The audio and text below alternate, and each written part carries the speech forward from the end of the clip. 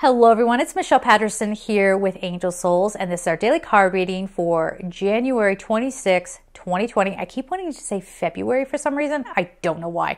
But anyway, here's our daily card, all right? it is Pink Tourmaline Forgiveness. Now, this isn't a lighthearted card, even though Pink Tourmaline can, it has that effect where it shows you what needs to be adjusted and so you can ease into uh, a bit of freedom. All right, freedom from the pain. It's it's gentle and helps you feel loved and all that good stuff. But that word forgiveness, oh oh oh, this is where people start getting into that whole thing of like I'm not going to let this go. And as we were saying, I think it was last week, where you know sometimes things get so deeply ingrained in us that we don't even realize that we should forgive. Uh, January is a beautiful time, as I've been calling it, the density blast. Uh, if you start, like I've been dreaming about people that I guess I still resent and I didn't know. and I even had a dream uh, recently about someone who, you know, they did some shady stuff, but I kind of, you know, as we are trained to do in this world, just let it go. Just pretend like it's not there. This uh, encouraging denial is getting sickening.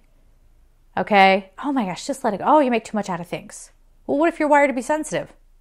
What we all can't be who we are? Give me a break, right? So, so there was this thing that I kind of was like, oh, I'm just going to let it go. But then I had a dream about it. And I woke up and I'm like, wow, that does bother me. Ooh, I don't like that. Why, why does that bother me so much? right? And it was the kind of thing in this case, it was, I felt like I was being disrespected.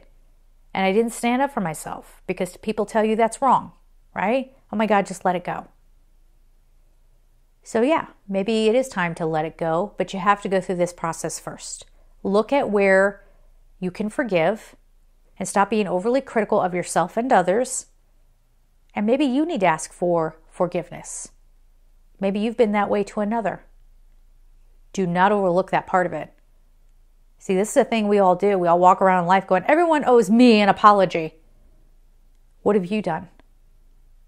Oops. None of us like to look at that, right? So take that into consideration.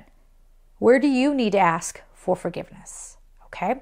So we're going to leave it there, guys. I'm sending you so much love and take care. Bye bye.